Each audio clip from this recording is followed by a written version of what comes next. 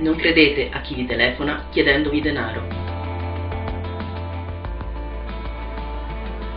Non vi fidate di chi vi propone facili guadagni.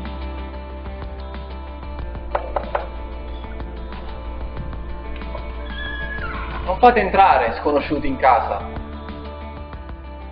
Se avete qualunque dubbio, chiamate la polizia.